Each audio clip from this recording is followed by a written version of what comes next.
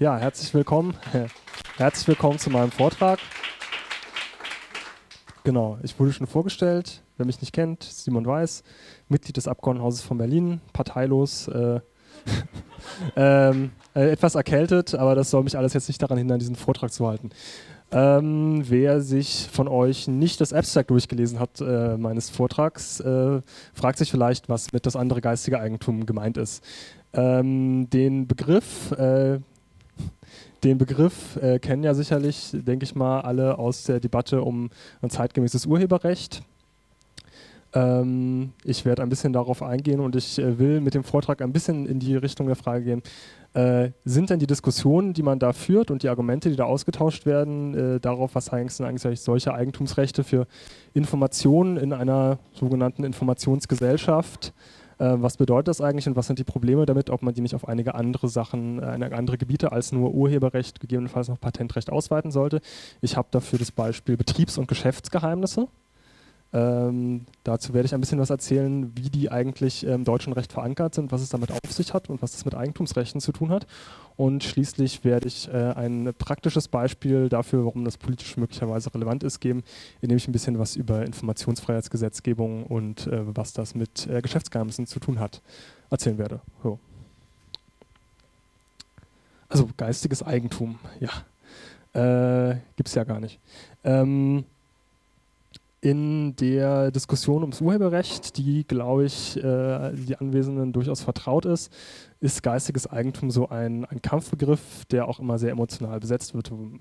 Ähm, einerseits heißt es dann, die äh, Rechte äh, im sogenannten Immaterialgüterrechte, was ein bisschen der präzisere Begriff ist, sind ja geistiges Eigentum. Das ist immer ein sehr schönes, äh, schöner Begriff, auch weil er, der Begriff Eigentum sehr stark moralisch aufgeladen ist. Wenn etwas Eigentum ist, dann ist es ja quasi schon sowas wie, es gehört mir, das ist, äh, das ist, ist ein Menschenrecht und so weiter. Äh, und und da haben, können die meisten Leute auch was emotional was mit anfangen mit dem Begriff Eigentum. Äh, andererseits wird er dann natürlich kritisiert, um, genau aufgrund dieser emotionalen äh, Entwicklung und auch die, wegen der Frage, äh, kann man denn überhaupt geistiges Eigentum haben? Kann denn Eigentum geistig sein? Gibt es nicht Eigentum nur an Sachen, die man irgendwie mit sich rumschleppen kann? Naja, blöd gefragt. Äh, ich habe dann, äh, weil ich ein schönes Beispiel für die Debatte gesucht habe, tatsächlich ähm, nochmal gesehen, dass bei der Open Mind 2011, beziehungsweise habe mich dann auch daran erinnert, ein Vortrag gab von äh, Andy Pop, warum Eigentum nicht geistig sein und Seko? Okay, oh, sorry, wie dem auch sei. Warum Eigentum nicht geistig sein kann, äh, der, äh, der das ganz, der das äh, auch der das tatsächlich ganz gut auseinandernimmt, was eigentlich dieser Eigentumsbegriff ist und so weiter. Ich will jetzt hier nur kurz nochmal drauf eingehen, weil sonst könnte ich ja auch wieder einen ganzen Vortrag damit füllen. Ähm, erstmal, ähm, wenn wir mit dem, einem Begriff geistiges Eigentum Kritik üben wollen, müssen wir uns also fragen, was ist denn eigentlich Eigentum? Ähm, man kann Sachen immer gut definieren, wenn man sie von anderen abgrenzt. In dem Fall äh, Besitz. Ähm, im, äh, im, also äh, der rechtliche Begriff Eigentum äh, grenzt sich ab von Besitz dadurch, dass äh, man besitzt etwas, wenn man es ja, vereinfacht gesagt in der Hand hält, also direkten Zugriff darauf hat.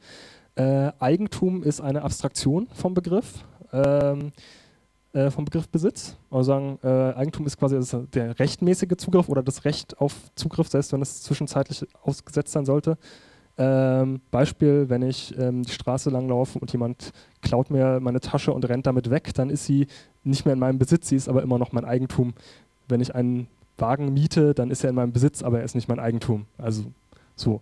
Äh, und aus dieser Abgrenzung äh, sehen wir schon mal, äh, Eigentum ist eigentlich eine gesellschaftliche Übereinkunft im Gegensatz zu Besitz ähm, die im Wesentlichen sagt, ähm, jemand hat das Recht, ähm, Zugriff auf irgendetwas zu haben an einer Sache, äh, aber nicht unbedingt nur an einer Sache. Das ist der nächste Punkt. Eigentum ist dann auch an immateriellen Sachen möglich und das geht gar nicht mal nur in den Bereich äh, geistiges Eigentum, sogenannt Anführungszeichen, rein, sondern äh, eigentlich schon sind viele Rechte, die wir eigentlich relativ problemlos als Eigentumsrechte bezeichnen, nicht Eigentumsrechte an Sachen. Äh, allein schon das Eigentum an einem Grundstück ist schwer als Eigentum an einer Sache zu bezeichnen, weil es äh, eigentlich keine abgegrenzte Sache ist, äh, aber auch äh, man kann Eigentum an einem bestimmten Recht haben, ähm, zum Beispiel Schürfrechte, was weiß ich.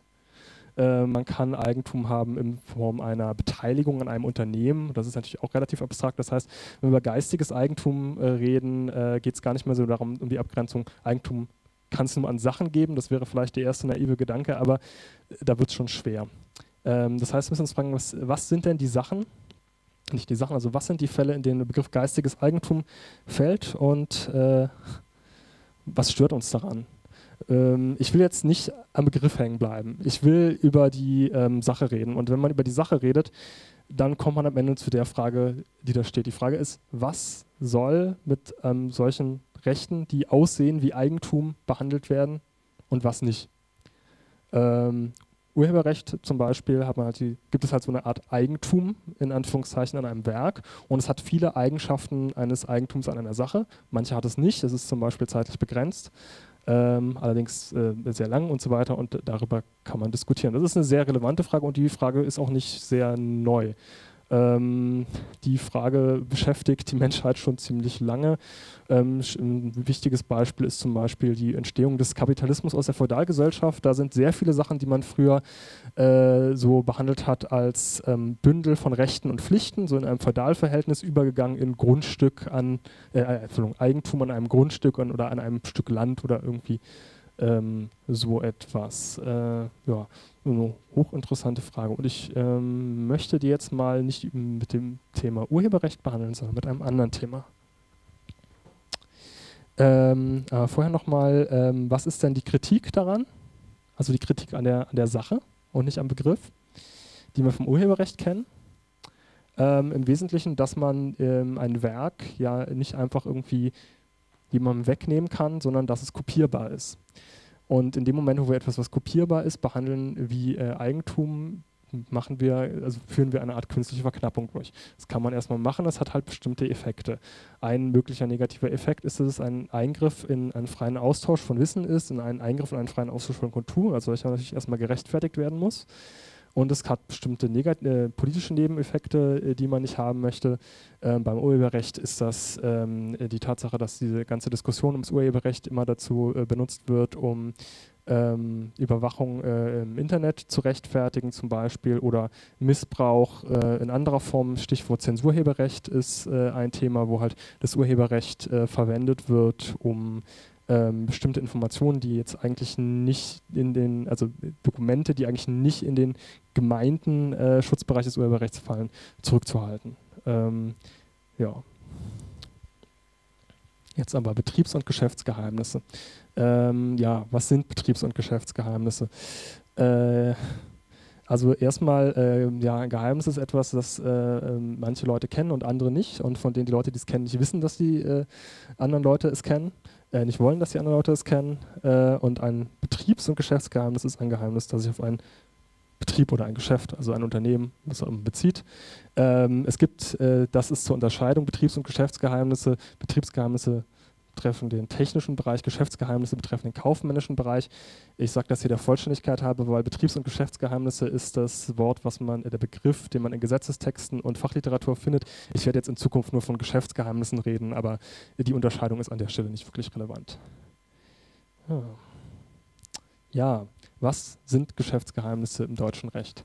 Ähm, äh, da oben steht äh, eine Definition ist aus einem Urteil des Bundesverfassungsgerichts entnommen. Und zwar alle auf ein Unternehmen bezogene Tatsache, Umstände und Vorgänge, die nicht offenkundig, sondern nur einem begrenzten Personenkreis zugänglich sind und an deren Nichtverbreitung der Rechtsträger ein berechtigtes Interesse hat. Ähm, ja, gut, als Definition erstmal ganz brauchbar. Warum steht da Geschäftsgeheimnis als Grundrecht drüber? Ja, aus genau dem Grund, Geschäftsgeheimnisse sind in der deutschen Rechtsordnung ein Grundrecht. Also, ähm, ja. Äh, woraus leitet sich das ab? Wenn man das Grundgesetz durchblättert, findet man es vielleicht erstmal nicht. Es ist ein abgeleitetes Grundrecht. Zunächst mal tatsächlich Artikel 14 Eigentum, Gewährleistung des Eigentums. Denn der Eigentumsbegriff, den das Grundgesetz hat, äh, ist tatsächlich auch relativ weit. Er umfasst auch das ganze sogenannte geistige Eigentum, also Materialgüterrechte. Und er umfasst in diesem Fall auch ähm, Geschäftsgeheimnisse. Ähm, wahrscheinlich noch überraschender für die, die es nicht wissen, Artikel 12 Berufsfreiheit. Ähm, und das ist auch die Herleitung, die das Bundesverfassungsgericht in dem dort zitierten Urteil äh, durchführt. Ähm, alle Deutschen haben das Recht, den Beruf frei zu wählen. Und Artikel 19 Grundgesetz sagt, äh, das ist einmal ein besonders äh, schöner Höhepunkt des Grundgesetzes, die Grundrechte gelten auch für inländische juristische Personen, soweit sie ihrem Wesen nach auf diese anwendbar sind. Ähm, das bedeutet in diesem Fall auch äh, ein Unternehmen, wenn es privat, also ein privatwirtschaftliches Unternehmen, hat auch alle Grundrechte, die man sich noch so hinbiegen kann, dass sie es haben könnte. Und eins davon ist das Grundrecht auf Berufsfreiheit und das ist die, die sogenannte Unternehmensfreiheit. Das bedeutet, jedes Unternehmen hat ein im Grundgesetz garantiertes Grundrecht darauf, äh, ja, Geschäfte zu machen. Also an den Markt zu gehen und dort äh, teilzunehmen. Ähm, wir haben also ähm, Geschäftsgeheimnisse oder die Gewährleistung von Geschäftsgeheimnissen hier als abgeleitetes Grundrecht im Grundgesetz verankert. Äh, warte, mal kurz da. Ähm, ja, jetzt äh, können wir die Frage stellen, wofür sind diese Geschäftsgeheimnisse eigentlich da? Ähm, wenn man sie vom Grundrecht auf Berufsfreiheit da ableitet, heißt es ja ein bisschen, sind dazu da, um irgendwie äh, Unternehmen davor zu schützen, dass ihre Geschäftsgeheimnisse bekannt werden und sie somit irgendwie einen individuellen Nachteil haben. Ein interessanter Vergleich, der sich an der Stelle anbietet, ähm, ist der mit dem Patentrecht. Und das Patentrecht verfolgt ein ganz ähnliches Ziel, hat zumindest ein ähnliches System. Ähm, sowohl das Patentrecht als auch ähm, Patente und Geschäftsgeheimnisse sind beide dazu da, Informationen zu schützen, die ähm, irgendwelche wirtschaftlich äh, aktiven Unternehmen äh, oder ja, Privatpersonen äh, besitzen und so quasi auch ihre, ihre Stellung am Markt, also die gewährleisten, dass man damit Geld verdienen kann, dass man irgendwelche Dinge weiß, die andere nicht wissen. So gesagt. Es gibt aber einige grundlegende äh, Unterschiede zwischen den beiden Systemen. Ähm, Patente sind darauf aufgelegt, veröffentlicht zu werden. Also das äh, Patentsystem sagt, Innovation ist geschützt für einen gewissen Zeitraum, das ist der zweite Unterschied, und äh, wird allerdings veröffentlicht die Veröffentlichung gewährleistet den Schutz und dann gibt es einen gewissen Schutzzeitraum, dann ist abgelaufen. Geschäftsgeheimnisse basieren genau auf dem Gegenteil, auf der Geheimhaltung. In dem Moment, wo etwas nicht mehr geheim ist, ist es auch kein Geschäftsgeheimnis mehr und ist auch nicht mehr geschützt. Ähm, und sie sind zeitlich unbegrenzt. Ähm, zudem äh, gibt es dort das, den Aspekt der Schöpfungshöhe. Patente sind mit einer relativ hohen Schöpfungshöhe äh, ausgezeichnet, oder sollten es zumindest sein. Ähm, die Probleme des Patentsystems führen jetzt vielleicht ein bisschen zu weit, aber theoretisch ist ein Patent tatsächlich eine, soll eine eigen, genau wie irgendwie ein Werk, das urheberrechtlich geschützt ist, eine eigenständige Leistung darstellen einer gewissen Schöpfungshöhe. Geschäftsgeheimnisse haben keine Schöpfungshöhe. Geschäftsgeheimnis kann jede Information sein. Äh, wirklich jede Information und sei sie auch noch so naja, äh, geringfügig. Ich gebe gleich noch ein schönes Beispiel dafür. Ähm, die beiden äh, Systeme so nebeneinander zu stellen, zeigt eigentlich, dass da, also die sind sehr unterschiedlich und sie kommen auch aus unterschiedlichen Richtungen. Ähm, das Patentrecht knüpft quasi daran an zu sagen, wir haben hier so einen freien Markt und ähm, wir sehen aber, dass dieser freie Markt nicht in der Lage ist, etwas zu tun. Er ist nicht in der Lage, Innovation richtig zu belohnen, so wie wir es gerne hätten. Äh, deshalb greifen wir in den freien Markt ein, indem wir sagen, wir verbieten einfach, also wir, wir schaffen ein Patentsystem, was halt Leuten eine gewisse Frist gibt, wo sie ihre Innovationen exklusiv nutzen können und danach steht es allen zur Verfügung, deshalb und dann haben wir wieder den freien Markt, deshalb die Veröffentlichung. Ähm, das, der Schutz von Geschäftsgeheimnissen knüpft äh, gar nicht an solchen Überlegungen an. Der Schutz, äh, Schutz von Geschäftsgeheimnissen, ich habe es eben schon erwähnt, knüpft an äh, tatsächlich der individuellen Marktstellung eines einzelnen Unternehmens. Also es, es, geht darum, die Marktstellung eines Unternehmens zu schützen, im Fall eines Grundrechts halt vor staatlichen Eingriffen zu schützen. Ähm,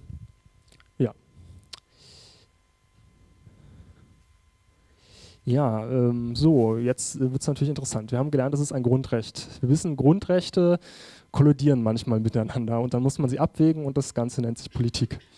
Ähm, was sind so ein paar Bereiche, in denen das Grundrecht auf Geschäftsgeheimnisse äh, kollidiert? Erster Punkt, Kartellbildung. Ähm, ja, ich hatte vorhin schon vom freien Markt gesprochen. Wenn ein Unternehmen eine Monopolstellung oder eine führende Stellung auf einem Markt hat und ähm, dort äh, gewisse Geschäftsgeheimnisse hat, die ihm diese Führung möglicherweise auch gesichert haben. Äh, dann ist es natürlich für ein anderes Unternehmen, das, äh, ein anderes Unternehmen, das irgendwie auf diesem Markt irgendwie groß werden möchte, schwer, weil es durch diesen Informations, durch diese Informationsdifferenzial eine ähm, schlechtere Stellung hat. ein einfaches Beispiel, wenn ich jetzt morgen eine neue Suchmaschine gründen möchte und hoffe, dass die Google ablöst, habe ich erstmal das Problem, dass ich nicht einfach den Suchalgorithmus von Google verwenden kann. Also jedenfalls nicht genau den. Ähm, das ist halt ein, ein etwas, äh, das ist halt der Punkt, wo dann auch die Unterscheidung zwischen, wo man sieht, äh, warum Patentrecht eigentlich so funktioniert, wie es funktioniert. So. Ähm, zweiter Punkt, Freiheit der Forschung. Das ist äh, relativ naheliegend, ähm, da Geschäftsgeheimnisse auch äh, Innovationen schützen äh, können. Ähm, hat man hier halt das Problem, dass ähm, Forschungsresultate auch davon betroffen sein können und insbesondere bei, ähm, bei, bei, Kooperationen zwischen äh, privatwirtschaftlichen Unternehmen in der Forschung, insbesondere auch mit staatlichen Stellen, kann man da halt auch äh, seine Probleme kriegen und vor allem kollidieren Geschäftsgeheimnisse ja relativ offensichtlich oder können relativ offensichtlich mit allen Bereichen, in allen Bereichen mit Ansprüchen an Informationen kollidieren. Ähm, zum Beispiel Verbraucherschutz, ähm, wenn ich ähm, wissen möchte, wenn ich ein, ein, Lebensmittel kaufe und wissen möchte, was ist denn da drin, dann ähm, findet da eine Abwägung statt, denn das Rezept ist sicherlich ein Geschäftsgeheimnis oder wahrscheinlich ein Geschäftsgeheimnis. Andererseits habe ich natürlich ein, oder sollte ich vielleicht ein Recht darauf haben, was da drin ist, wenn ich es zu mir nehme. Und das ist ein Spannungsfeld auf dem Verbraucherschutzgesetzgebung stattfindet. Datenschutz, weiteres äh, naheliegendes Beispiel und schließlich Informationsfreiheit, also im Sinne von Informationsfreiheitsgesetzen Zugang zu staatlichen Informationen. Ähm, und das ist das Beispiel, über das ich jetzt etwas näher reden möchte. Ja, Informationsfreiheit. Warum Informationsfreiheit? Äh, ja, weil ich mich ein bisschen damit auskenne. Ähm, ich äh, äh, beschäftige mich jetzt seit einigen äh, Jahren intensiv damit, auch äh, in meiner parlamentarischen Arbeit. Jetzt kommt kurz ein bisschen Eigenwerbung. Äh, ein schönes Blog, was wir jetzt als Fraktion aufgesetzt haben, ifg.piratenfraktion.de, findet man ein bisschen was über die Informationsfreiheit in Berlin und so weiter und was wir da so machen. Ja. Ich habe ein Beispiel gesucht für Informationsfreiheit und Probleme, die es gibt mit Geschäftsgeheimnissen. Und dann kam da auf einmal dieser Netzpolitik-Org-Artikel, also von letzte Woche. Ähm, was digitale Agenda.de kostet, ist Betriebs- und Geschäftsgeheimnis. Ähm, worum geht's? Ähm, Netzpolitik.org äh, ähm, hat äh, angefragt bei der Bundesregierung, ihr habt doch da jetzt so eine schöne digitale Agenda und so eine schöne Webseite, digitale äh. Wie viel hat die denn gekostet?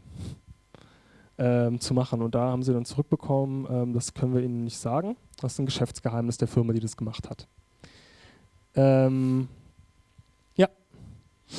Also hier mal ein paar Beispiele von Regierungswebseiten aus dem Artikel entnommen, von denen man weiß, wie viel sie kosten. Das ist so das, worum es da ungefähr geht. Äh, naja, es ist, äh, einige überlegen jetzt vielleicht ihre Karriereplanung. Ähm, ähm, ja, und das ist äh, halt auch, äh, das ist halt ein schönes Beispiel für das, was ich meinte mit, es gibt keine Schöpfungshöhe für Geschäftsgeheimnisse. Ähm, ist äh, die Information, wie viel eine Dienstleistung kostet, kann bereits ein Geschäftsgeheimnis sein.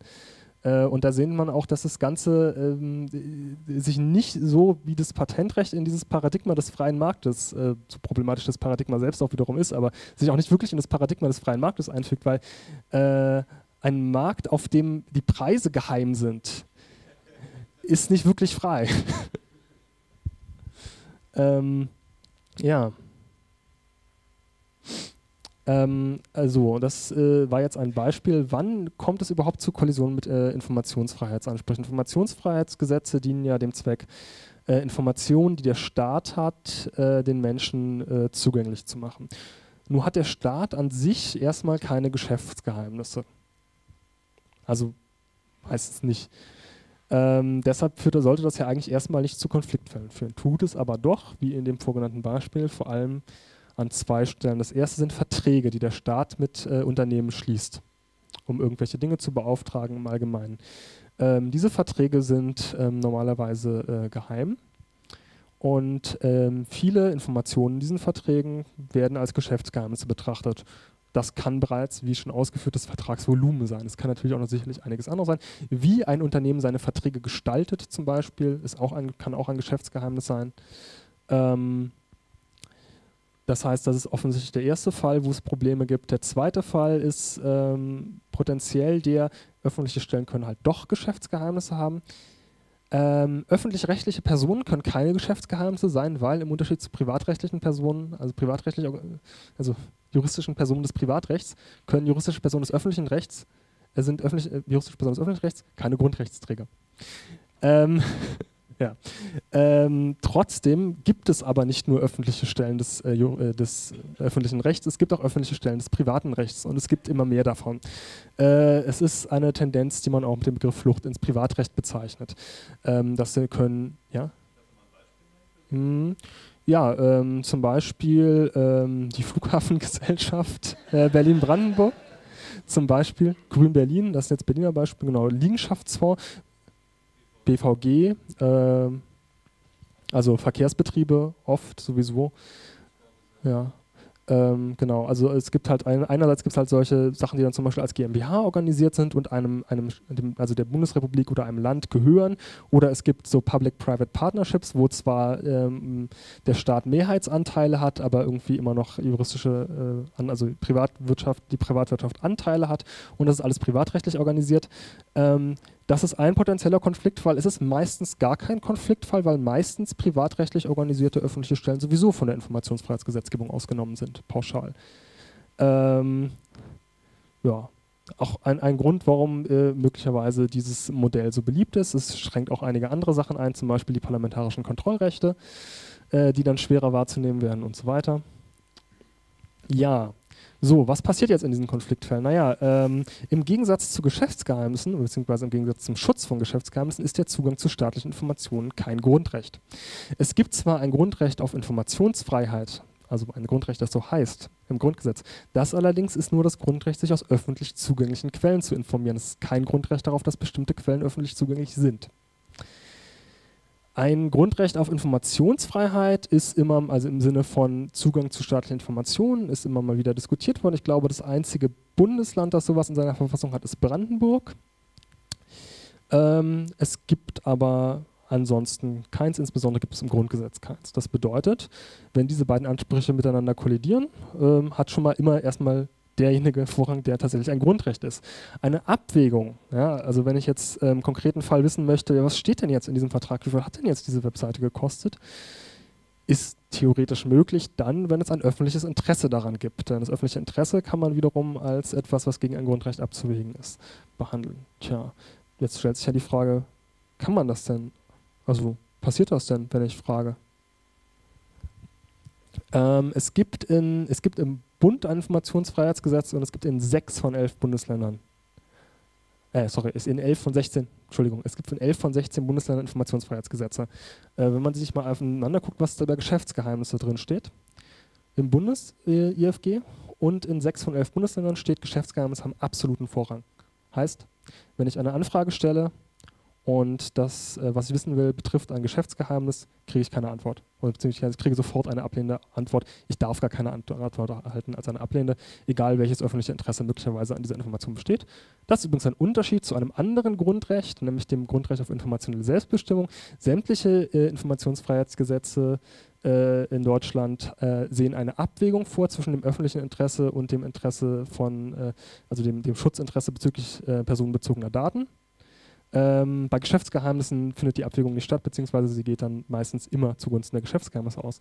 In fünf Ländern, fünf Bundesländern ist es möglich, also ist es quasi, also ist eine Abwägung vorgesehen zwischen diesem Interesse und dem öffentlichen Interesse. In einem einzigen Bundesland, das ist Hamburg, sind Unternehmen, wenn sie Verträge mit dem Staat schließen, überhaupt verpflichtet zu sagen, was in diesem Vertrag ist eigentlich ein Geschäftsgeheimnis und was nicht. Eine kleine Karte. Wir sehen, das, was eingefärbt ist, sind Bundesländer mit Informationsfreiheitsgesetzen. Die Grünen sind die einzigen, äh, in denen man auch an Informationen rankommt, zumindest rankommen kann, wenn sie Geschäftsgeheimnisse betreffen. Das heißt, wenn ich wissen möchte, was steht in diesem Vertrag, den äh, der Staat mit Firma X abgeschlossen hat, sind die grünen Länder die einzigen, wo ich auch nur eine Chance habe, eine Antwort zu bekommen. Ja, das ist ein schönes Beispiel dafür, dass man Sachen in Landesverfassungen reinschreiben kann, aber dass sie dann immer noch nicht in Gesetzen stehen. Es gibt zwar ein Grund, es gibt zwar ein Grundrecht auf Inform also es gibt ein Grundrecht auf Info äh, Zugang zu staatlichen Informationen in Brandenburg und es gibt ein äh, Grundrecht auf Betriebs- und Geschäftsgeheimnisse. Ähm, allerdings äh, die Abwägung, äh, die dann stattfindet, ist äh, diese im Gesetz. Aber gut aufgepasst. Äh, die anderen Länder haben gar keine Informationsfreiheitsgesetze. In ähm, Niedersachsen und Baden-Württemberg äh, gibt es Bestrebungen, Informationsfreiheitsgesetze. Bayern auch, Bayern auch, okay. Ja, ich habe gesagt, Niedersachsen und Baden-Württemberg. Bestrebungen? Äh, in, in, in, Hessen äh, meines Wissens nicht, wobei ich den Koalitionsvertrag gar nicht so genau kenne. Ich kenne ein bisschen die Diskussion in Niedersachsen, Baden-Württemberg. Und genau solche Fragen sind es auch, die eine Rolle spielen, wenn es darum geht, neue Informationsfreiheitsgesetze zu schaffen. Also auch zum Beispiel die ähm, grün-rote Regierung in Baden-Württemberg hat in ihrem ersten Entwurf eines Informationsfreiheitsgesetzes auch vorgesehen, dass es dass eine Abwägung zwischen in Geschäftsgeheimnissen und Informationsfreiheit immer zugunsten der Geschäftsgeheimnisse ausgeht. Ja. So, komme gleich zum Fazit. Ähm, ja. Fazit, äh, wenn wir über äh, geistiges Eigentum reden, geistiges Eigentum, Anführungsstriche, ähm, sollten wir vielleicht nicht nur über das Urheberrecht reden. Ähm, ich glaube, es ist klar geworden, warum auch hier, äh, warum es auch hier um eigentumsähnliche Rechte geht oder sogar Eigentumsrechte, wenn man verfassungsrechtlich ganz strikt ist, ähm, bei denen sich ganz ähnliche Fragestellungen auftun. Ich hatte vorhin ja mal hier gesagt, was ist denn eigentlich das Problem? Das ist eigentlich das Problem, wenn wir Informationen als Eigentum behandeln. Und ähm, im Wesentlichen sehen wir, dass ja auch ähnliche Probleme auftauchen. Wir sehen, wenn man ähm, Sachen, die halt Informationen sind, also beliebig kopierbar, ähm, als nicht kopierbar behandelt, dann hat es Auswirkungen auf den freien Austausch von Informationen. Es hat unerwünschte politische Nebeneffekte, wie zum Beispiel die Beschränkung der Informationsfreiheit, die ich dargestellt habe. Und das heißt, die gleichen Fragen, die wir uns für Urheberrecht stellen, könnten wir uns eigentlich auch auf diesem Bereich stellen. Und damit möchte ich eigentlich schließen in die Diskussion mit der äh, schönen Frage, braucht das neue Regeln oder kann das weg?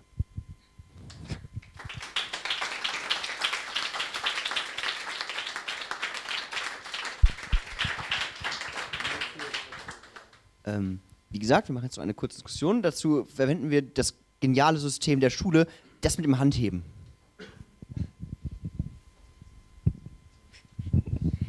Ja, vielen Dank, äh, dass du dich diesem wichtigen Thema widmest. Zufällig äh, bin ich auch gerade Schattenberichterstatterin für die neue äh, Richtlinie der Europäischen Union zum Schutz von Geschäftsgeheimnissen. Ähm, ich finde es äh, cool, dass du so mal diesen äh, Konflikt mit äh, staatlichen, öffentlichen Informationen angesprochen hast. was bei uns viel mehr diskutiert wird, ist, was hat das eigentlich für Auswirkungen auf Arbeitnehmerinnenrechte?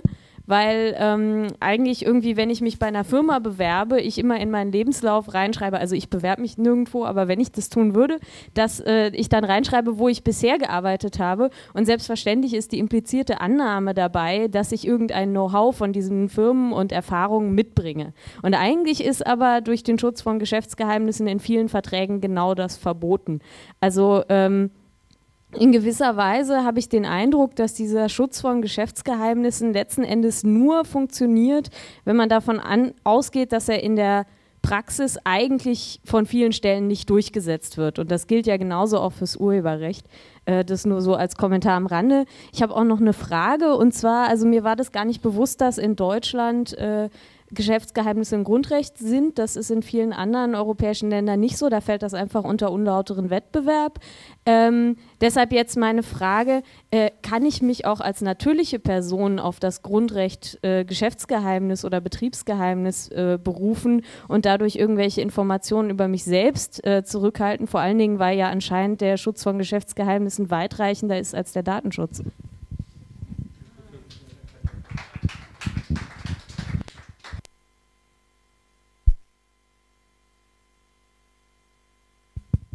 Ah, okay, sorry. Technik. Ähm, äh, ich und Technik. Äh, ja, danke. Ähm, in der Tat, also erstens, ähm, ja, äh, Arbeitnehmerinnenrechte sind ein weiteres Konfliktfeld. Da äh, fällt halt sowas wie ähm, solche Verschwiegenheitsklauseln rein. Ähm, da fällt auch sowas wie Whistleblowing rein, weil Whistleblowing bei ähm, privaten äh, Unternehmen halt, ist halt oft im direkten Konflikt mit äh, Geschäftsgeheimnissen, weil es ja um interne Informationen geht. Ähm, die, genau, ähm, die europäische rechtliche Ebene hast du angesprochen. Äh, es gibt keine direkte Verankerung von äh, Geschäftsgeheimnissen im Europarecht, noch nicht, oder es gibt keine Definition. du schon sagtest, es gibt ähm, EuGH-Urteile, glaube ich, die das irgendwie eingrenzen und sich da, glaube ich, auch äh, aufs Eigentumsrecht berufen. Ähm, die ähm, Frage, ah, als Privatperson, kann man sich als Privatperson darauf berufen? Ja, es nennt sich dann Berufsfreiheit. Äh, also, ähm, du wenn du irgendwie selbstständig äh, Geschäfte machst und dann wirst du sicherlich auch Geschäftsgeheimnisse haben dürfen. Ähm, allerdings ähm, stärker als Datenschutz hängt halt davon ab. Das Beispiel war jetzt halt äh, Informationsfreiheitsgesetzgebung. Ähm, da du als Privatperson die Geschäfte, also wenn du als Privatperson die Geschäfte machst, zum Beispiel einen Vertrag mit dem Staat schließt, dann bist du davon genauso geschützt, ja, aber du wirst ja im Regelfall, also als Privatperson profitierst du eigentlich nicht wirklich davon. Also du profitierst halt als Geschäft, das du halt auch als einzelne Person betreiben kannst, aber ja.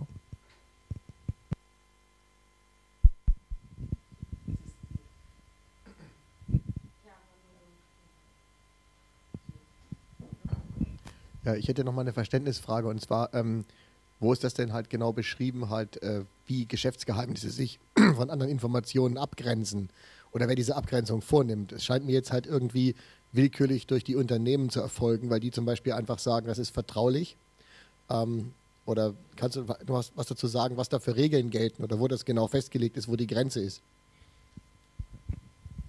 Ja, ähm, also erstmal, es gibt keine äh, ähm, so klare Definition. Es gibt halt die, die ich zitiert habe aus dem Bundesverfassungsgericht, die ist natürlich relativ vage. Im Prinzip entscheidet jedes Unternehmen erstmal selbst, was ein Geschäftsgeheimnis ist. Äh, Im Fall des Information, der Informationsfreiheitsrechte, wenn es einen Antrag gibt, dann läuft das in der Praxis ähm, so, dass, wenn das irgendwie einen Vertrag mit dem Unternehmen betrifft, dann schreibt die, ähm, schreibt der, die Behörde, die, bei der der Antrag angeht, erstmal das Unternehmen an und fragt, können wir das rausgeben? Dann sagt das Unternehmen, lösen Geschäftsgeheimnisse und dann wird es nicht rausgegeben.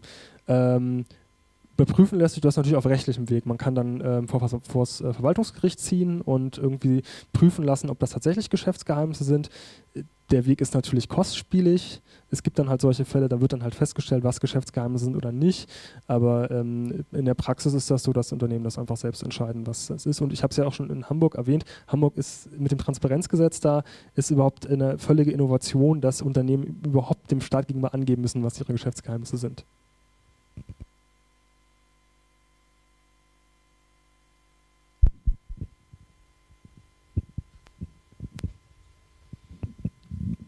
Ähm, du hattest gesagt, in Artikel 19 ist irgendwie geregelt, dass Grundrechte auch auf juristische Personen übertragen werden können, so, sofern das irgendwie geht. Ähm, wann, wann geht denn das? Oder warum hat, kann ein Unternehmen eine Berufsfreiheit haben, aber kein Wahlrecht oder was auch immer? Also wo ist, denn, wo ist da die Abgrenzung?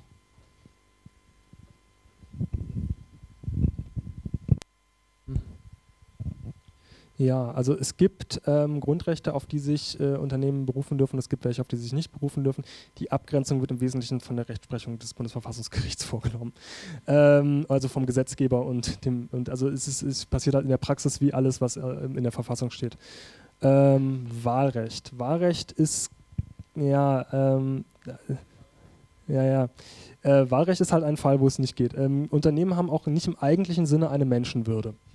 Deshalb haben Unternehmen zum Beispiel, ja, deshalb haben Unternehmen zum Beispiel auch kein Recht auf informationelle Selbstbestimmung, ähm, weil das ja aus der Menschenwürde hergeleitet wird. Ähm, sie haben aber ein Recht auf Geschäftsgeheimnisse, das natürlich im Wesentlichen dem Recht auf informationelle Selbstbestimmung entspricht, aber bestimmte Rechte haben sie natürlich nicht. Ja.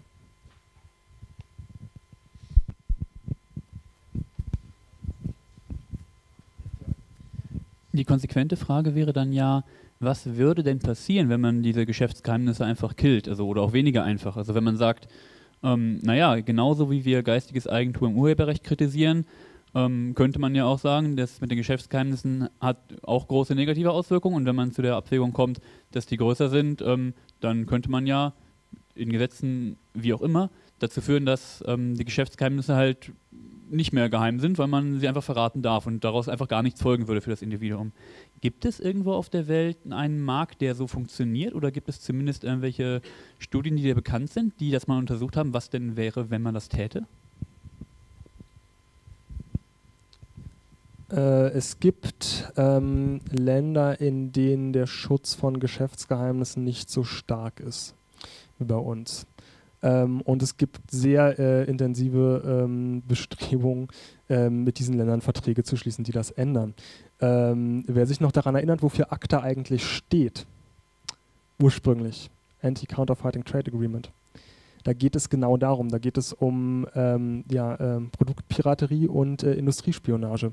Und das ähm, erste Argument, äh, was kommen wird, wenn, würde, wenn man irgendwie sagt, lass uns das so einfach mal anders machen, wäre, ja, aber damit sind ja unsere Unternehmen völlig hilflos äh, der Industriespionage ausgesetzt.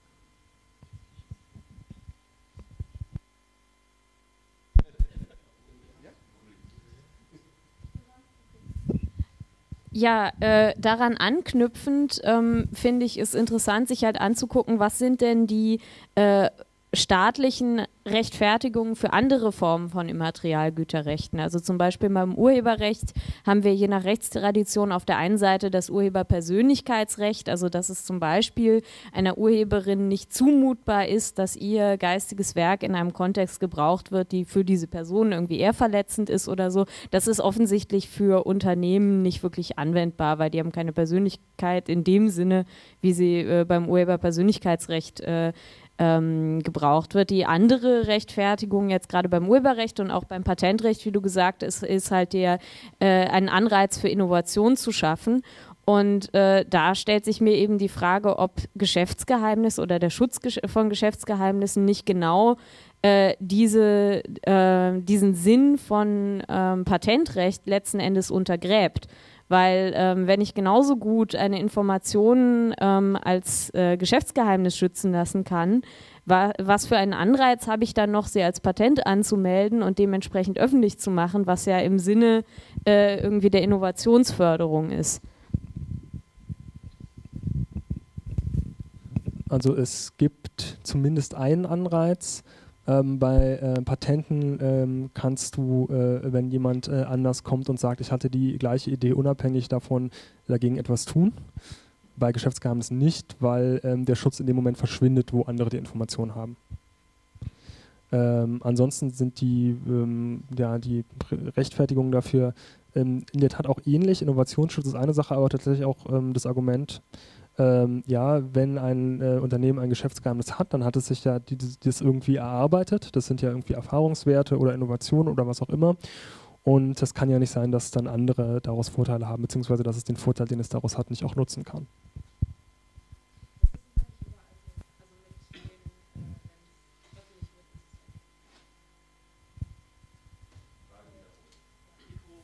Ähm,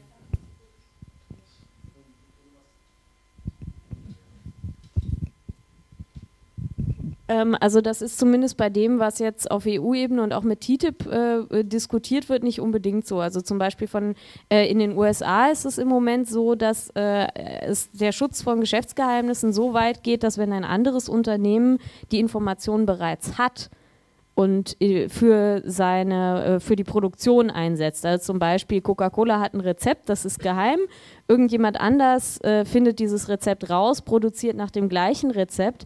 Dann kann äh, das Unternehmen, das dieses Geschäftsgeheimnis ursprünglich hatte, eben die Produktion stoppen. Und wenn diese Produktion gestoppt wurde, auch äh, unter, äh, äh, also wenn die Produktion gestoppt wurde und das Unternehmen das dann trotzdem wieder weitermacht, sogar strafrechtliche ähm, Maßnahmen dagegen ergreifen. Und das ist halt was, was teilweise amerikanische Industrie jetzt versucht, in TTIP unterzubringen. Das heißt, ähm, also ja, in, in Deutschland mag das im Moment so sein, dass der Schutz von Geschäftsgeheimnissen sofort aufhört, aber das ist nicht überall so.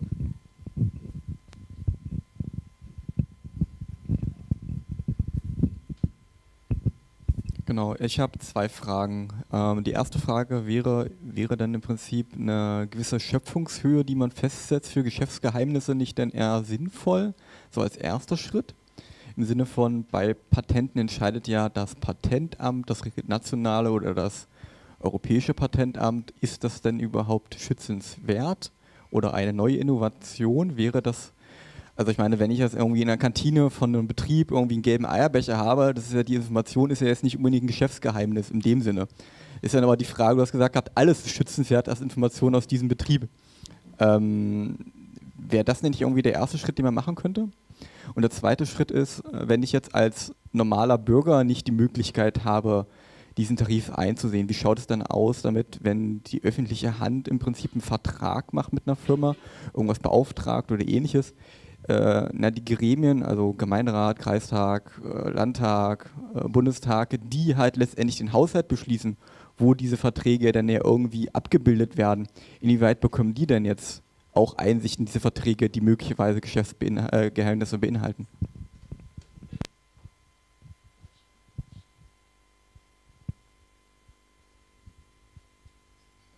Ähm, du meinst jetzt irgendwie ähm, parlamentarische Kontrolle und klar, da sind natürlich die äh, Einsichtsrechte äh, andere und stärkere ähm, im, Normalfall. Ähm, ich will jetzt nicht äh, bezeugen, dass in äh, jedem deutschen Parlament äh, äh, alle ähm, Parlamentarier alle ähm, Verträge einsehen dürfen. Aber es sollte eigentlich so sein. Ähm, ja, achso, die, die erste Frage, Schöpfungshöhe. Ja, ähm, das, ist halt, das ist halt die Frage. Ähm, wenn man es mit dem Patentsystem vergleicht, es ist halt ein anderes System. Wie willst du Schöpfungshöhe definieren in einem System, wo das Geschäftsgeheimnis gar nicht festgehalten werden muss?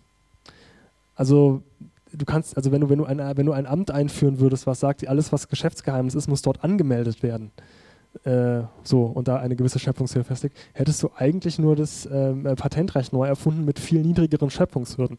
Das willst du wahrscheinlich nicht.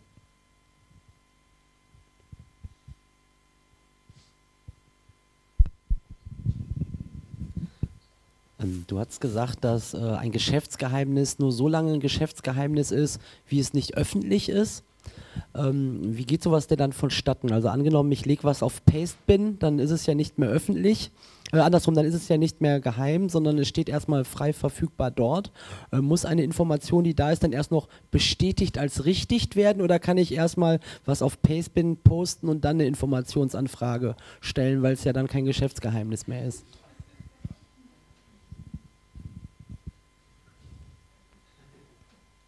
Ähm,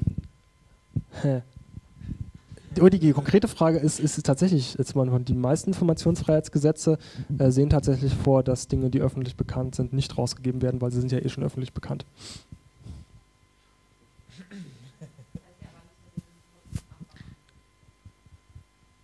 Man muss, glaube ich, auch nochmal trennen zwischen dem Schutz von Geschäftsgeheimnissen, der halt irgendwie hier abstrakt ist, ein, ein abstrakt geschütztes Rechtsgut, insbesondere gegenüber staatlichen Eingriffen, und der Frage, ähm, was ist denn mit dem Bruch dieses Geheimnisses? Ähm, also wenn ich irgendwie in, in eine Firma, äh, irgendwie in, in, in, eine Fabrik irgendwie einbreche, mir da irgendwelche ähm, Pläne oder was auch immer klaue, also die fotokopiere und so, äh, das ist natürlich illegal. So. Und das macht es nicht, also Und das äh, macht es auch erstmal nicht weniger zu einem Geheimnis, dass ich diese Informationen habe und ich kann sie dann nicht legal verwenden. Äh, hier geht es halt irgendwie um die, ähm, um die quasi, ja, um die grundrechtliche Seite, also auch um die Frage, wie ist denn das mit dem Staat? So, ähm, ja, du hast ja eine konkrete Frage gestellt. Ich will mal versuchen, die zu beantworten, nach dem, was ich jetzt auch gehört habe. Ähm, äh, geführt würde ich sagen, ja, äh, kann halt weg, nach auch dem, was du erzählt hast. Allerdings ist es dann auch wieder so, dass wir in einem politischen Kontext sind und dass äh, das nicht ohne Grund ein Grundrecht ist. Und dadurch, dass es den Charakter eines Grundrechtes hat, man jetzt auch nicht vielleicht äh, den, äh, als ersten Schritt äh, die Idee haben sollte, als politische Gesellschaft als am Ende dann auch Staat mit Entscheidungskompetenzen ein Grundrecht auszuhebeln, ist an sich nicht so eine gute Idee. Ähm, Deswegen würde ich eine Lanze brechen für, das braucht das Re Regeln und zwar aus einem as bestimmten Aspekt. Also auch äh, die Frage, was ist ein Geheimnis, spielt im deutschen, in der deutschen Rechtsprechung eine große Rolle. Also ich, mein Eindruck ist, kenne ich auch aus, dem, äh, aus der Arbeit zum Beispiel mit parlamentarischen Materialien, die äh, ähm, besonders geschützt sind, dass es in der deutschen Rechtsprechung sehr genau definiert ist, wann etwas ein Geheimnis ist und wann nicht. Und daher kommt auch das, was du gesagt hast. Wenn es nämlich öffentlich ist, ist es kein Geheimnis mehr. Und das äh, wird auch so äh, wahrgenommen. Ähm, meiner Meinung nach müsste man durch alle möglichen Maßnahmen äh, den Unternehmen das einfach vermiesen, mit dem äh, Recht, mit dem Grundrecht auf Geschäftsgeheimnisse zu agieren. Das kann nämlich, wenn man als Staat entsprechende Regelungen trifft, also Transparenzgesetzgebung in Hamburg oder eben nur die Abwägungsfrage, für ein Unternehmen richtig teuer werden zum Beispiel gegenüber der öffentlichen Hand, mit denen äh, ein Unternehmen Verträge hat, äh, zu argumentieren, und zwar in jedem einzelnen Mal, wenn es eine, äh, eine Anfrage auf Informationsfreiheitsgesetz äh, äh, auf Grundlage gibt, äh, zu argumentieren, warum jetzt etwas speziell schützenswert ist. Da müssen Juristen beschäftigt werden und so weiter und so fort.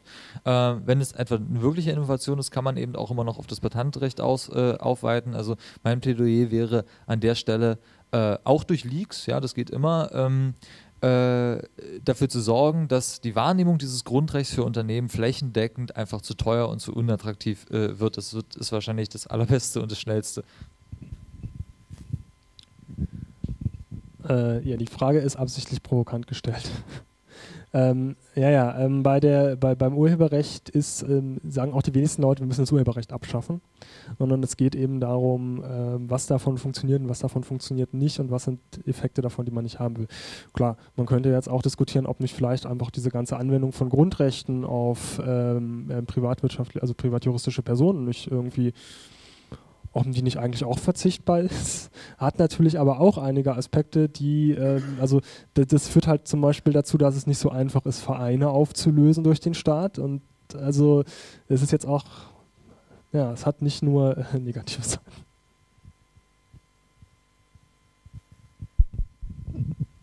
Also ich hänge immer noch an der grundsätzlichen Frage, warum sich äh, der Staat im, im Rahmen von Immaterialgüterrechten überhaupt mit Geheimnissen beschäftigt. Weil, also ich würde eigentlich aus, aus Perspektive des Unternehmens sagen, wenn ich etwas geheim halte, anstatt zu versuchen, ein Patent anzumelden, dann wähle ich einen Weg, außerhalb des rechtlichen Schutzes von irgendwelchen äh, Informationen. Also wenn ich etwas geheim halte, dann äh, versuche ich eben gerade nicht rechtlichen Schutz zu erlangen, sondern faktischen Schutz, der überhaupt nicht auf äh, die äh, auf den gesetzlichen Rahmen angewiesen ist, nämlich indem ich halt äh, Maßnahmen treffe, die dazu dienen, irgendwie dafür zu sorgen, dass die Konkurrenz nicht erfährt, was ich tue. Also muss sich der Staat da überhaupt einmischen?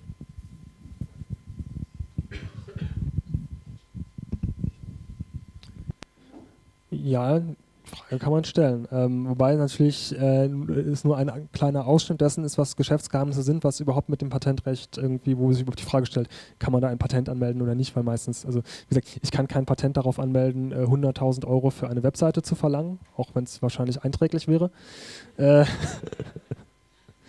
ähm, ja, äh, äh, ansonsten, ähm, ja, muss sich der Starter überhaupt einmischen. Also in dem Bereich, den ich jetzt aufgezeigt habe, muss er ist halt deshalb, weil, ähm, weil er da halt quasi, weil, weil dort halt Ansprüche, die der Staat zu gewährleisten hat, dafür sorgen, dass er eingreifen muss in die Geschäftsgeheimnisse äh, von, äh, von dort. Und das sind auch die Fälle, die ich da, ähm, das ist eigentlich in allen Fällen, die ich da aufgezählt habe, der Fall. Das ist natürlich, äh, da muss sich der Staat dann natürlich einmischen. Die Frage ist, muss er sich, äh, wie weit muss er sich dazu einmischen, ähm, zu sanktionieren, äh, dass äh, Unternehmen Geschäftsgeheimnisse anderer Unternehmen ähm, brechen, äh, indem sie halt irgendwie Industriespionage betreiben, Reverse Engineering, was du vorhin angesprochen hast, ist natürlich dann ein anderes, ähm, eine andere Frage.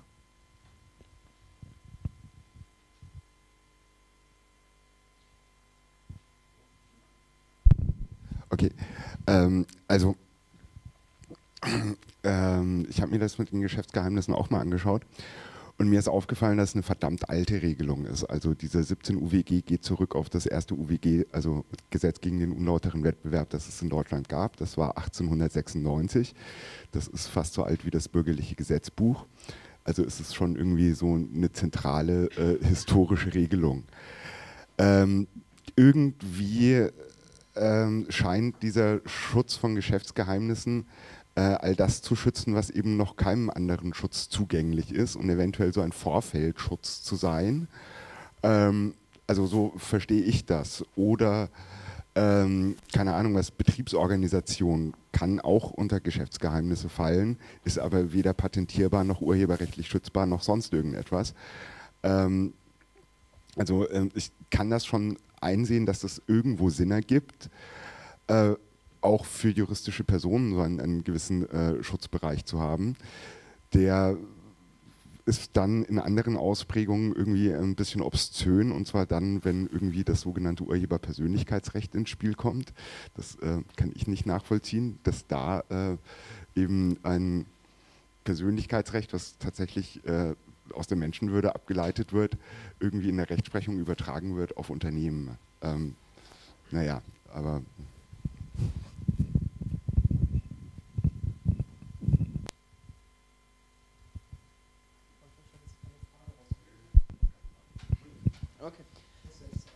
Ähm, dann habe ich gerade kurz zwei Sachen. Zum einen, es sind noch sieben Minuten, das, wir haben noch ein bisschen Zeit, aber ähm, sollten uns kurz fassen. Zum anderen kam, kam, aus diesem Twitter, diesem Internet noch eine Frage. Ähm, und zwar sind denn nach dem Snowden NSA-Enthüllungen die Geschäftsgeheimnisse nicht ohnehin weniger geschützt als propagiert?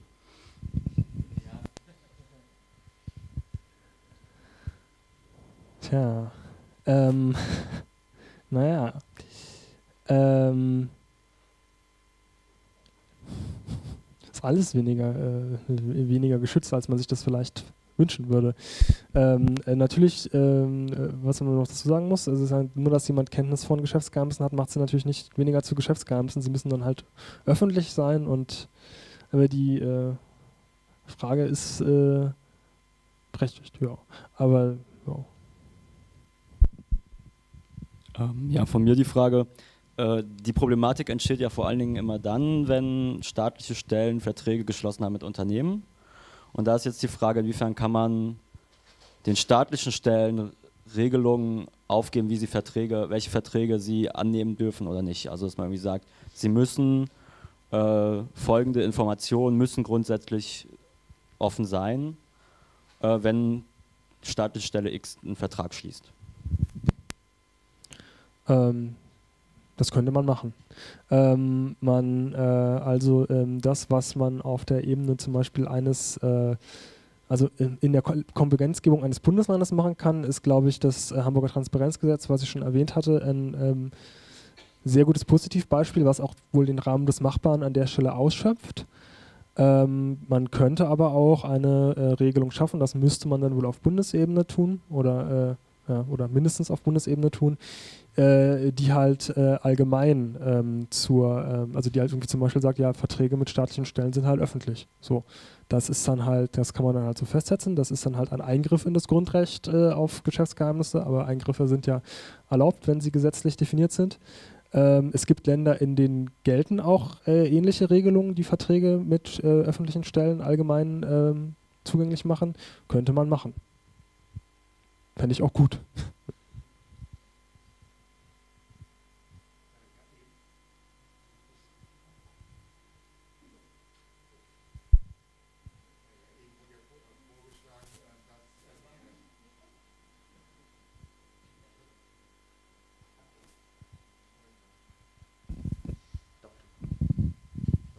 So, jetzt, okay, jetzt höre ich mich auch. Gut, ähm, eben wurde ja vorgeschlagen, dass der rechtliche Schutz von Geschäftsgeheimnissen ähm, komplett ges äh, gestrichen werden sollte zugunsten eines äh, praktischen Schutzes, der auch, wie, wie auch immer der gestaltet sein werden sollte. Aber ich kann mir nicht vorstellen, dass das irgendwie funktioniert, denn ein praktischer Schutz müsste jetzt äh, auch enthalten, dass man Mitarbeitern äh, irgendwie bei Mitarbeitern verhindert, dass sie ähm, internes Wissen weitergeben. Das kann man schaffen, indem man die, äh, sie einsperrt. Das will man, glaube ich, nicht. Also muss man irgendwie einen rechtlichen Schutz schaffen, äh, äh, dass sie nichts sagen müssen. Und da, sind, da, da beißt sich die Katze schon wieder in den Schwanz das, das Zweite äh, ist, da, da, muss dann also die, die Folgerung, wir brauchen neue Regeln und da, da kommen wir genau dahin, äh, was, was eben auch wieder mehrfach angesprochen wird, dass, im, dass man im öffentlichen Bereich äh, schlicht und simpel äh, alles der Öffentlichkeit auch äh, zugänglich machen, äh, machen sollte. Sprich, äh, Verträge haben gefälligst öffentlich zu sein und auch die Inhalte sämtlicher Verträge. Und ich denke, das ist der, der Schieber, an dem man sinnvollerweise arbeiten könnte. Ähm, ganz kurz. Es sind noch drei Minuten, deswegen würde ich sagen, wir versuchen nochmal zwei Fragen zu machen. Und wenn wir dann noch mehr, noch mehr Zeit haben, ähm, schauen wir mal. Ja, in, in Richtung, was eben gerade auch gesagt wurde, wie kommt man denn dann aber dahin, dass wir es tatsächlich schaffen, die öffentliche Hand oder beziehungsweise die privaten Partner vielmehr der öffentlichen Hand, wann immer sie öffentliche Verträge machen, dass die tatsächlich veröffentlicht werden. Ich könnte mir vorstellen, dass es auf EU-Ebene tatsächlich eine relativ geschickte Argumentationsschiene sein könnte, ähm, mit der Haltung der Kommission sogar zu argumentieren, dass man nämlich Wettbewerbsverzerrung minimieren möchte. Also die sind extrem hinterher, wenn ich das als Kommunalpolitiker jedenfalls beobachte, an jeder Ecke doppelt und dreifach zu prüfen, ob wir als öffentliche Hand nicht vielleicht aus Versehen Unternehmen A drei Cent mehr bezahlt haben als Unternehmen B, weil wir die lieber mögen. Und natürlich wäre es durch öffentliche Vertragswerke zwischen privaten und öffentlichen Hand extrem vereinfacht, nicht nur den Behörden, sondern im Zweifelsfall auch den Konkurrenten die Möglichkeit zu geben, Wettbewerbsverzerrungen selbstständig zu entdecken und dann gegebenenfalls zu melden. Also ich könnte mir vorstellen, dass man daraus eine relativ gute Argumentationslinie gegenüber anderen politischen Kräften schmieden könnte. Also vielleicht äh, jetzt gerade direkt als Entgegnung darauf, ähm, kann es halt auch sein, dass du eher eine, ich sag jetzt mal, eine Kartellsituation erzeugst, indem du durch die öffentlichen Verträge halt äh, inoffizielle Absprachen äh, ermöglicht, wie teuer man sozusagen der öffentlichen Hand das in, in, in Rechnung stellen kann und sich nicht, nicht, unterbieten muss dabei. Das ist die eine Sache. Ähm, und äh, zu davor, ähm, na gut, das habe ich jetzt schon wieder vergessen, deswegen ist auch egal.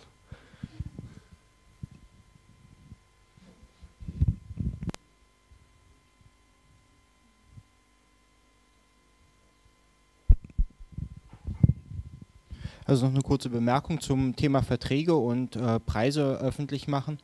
Ähm, es gibt ja einerseits das Vergaberecht und andererseits das IFG und tatsächlich ist man der Meinung, dass das IFG ähm, nach Abschluss der Vergabe Vorrang hat ähm, vor dem Vergaberecht, sprich, dass da nichts geheim ist und dass man natürlich an die äh, Vergabedokumente, auch die internen, der Verwaltung rankommt. Und da steht auch immer eine Auftragswertschätzung Wertschätzung drin, die meistens ähm, halbwegs äh, plausibel ist. Zumindest ähm, im Bereich über oder unter 200.000 Euro kriegt man das raus. Insofern, da kommt man schon an, über Umwege dran ran, auch wenn äh, da irgendein Unternehmen der Meinung ist, das sei sein äh, Geschäftsgeheimnis. Spätestens die Schätzung der öffentlichen Hand ist kein Geschäftsgeheimnis mehr. Ja. Schreibt mal eine Mail an Netzpolitik. Schreibt mal eine Mail an Netzpolitik, die interessiert das dann vielleicht bei ihrem Antrag. Oh. Nein, nein. Okay, damit ist die Zeit um. Ähm, hier ist, kommt als nächstes der Vortrag von Nutella, der gerade hier auch gesessen hat. Ähm, Danke, Simon. Genau. Danke, Simon.